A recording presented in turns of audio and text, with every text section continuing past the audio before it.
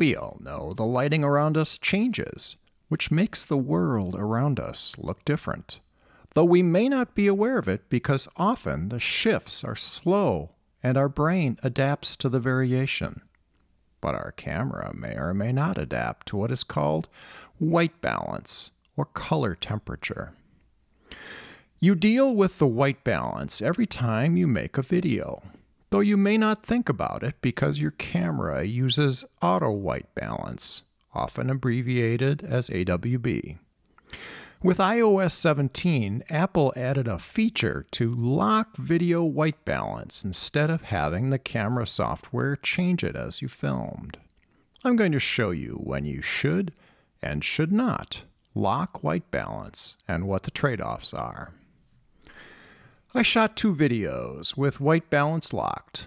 On the right, I began in daylight and moved to halogen lighting so daylight looks normal and the white paper looks orange. On the left, I did the opposite. I started in halogen lighting and moved to daylight so the paper looks white, but the daylight scene looks blue. I then reversed time with the left clip so both clips would show roughly the same scene at the same time. Apple's new locking feature does a great job of showing us what white balance is and what happens if you use it with very dynamic lighting color temperatures. In contrast, in this next clip, I turned off the white balance lock so you can see how the iPhone software changes it dynamically. In both clips, we see the colors appear normal and correct at the beginning and end of the clip. Before we dive in any further, let's do a quick check of which video modes the white balance lock works in. Let's turn the lock back on again and now we'll try cinematic mode. Checking just the halogen to daylight transition, we can see it works as expected. Same with slow-mo, the white balance stays locked. What happens when we try a time lapse? Both the transition on the left daylight to halogen, and on the right, halogen to daylight, show no locking of white balance. The clips are jumpy because I slowed them down by 10 times. So you're seeing individual frames.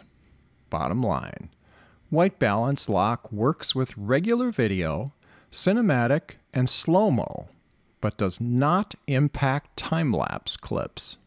I have no way of knowing whether this is intentional on Apple's part or an oversight. I do know that it would be helpful. What you are watching is a sunrise time lapse I filmed in Paria Canyon a few years ago, and the changes in lighting color temperature are striking. I don't think I'd use it all the time, but I'd like to have the choice of turning the auto white balance on and off in time lapses. So, if you're filming in situations where the color temperature is changing, considering locking the white balance if the impact of doing so is not excessive and actually minimizes undesirable color changes. Do consider the artistic impact. If the change in color temperature is part of your story, decide whether locking or unlocking sends the right message to the viewer. I hope these examples help you to understand this important new feature of iOS 17. If it did, please click like or subscribe below. Thanks for watching.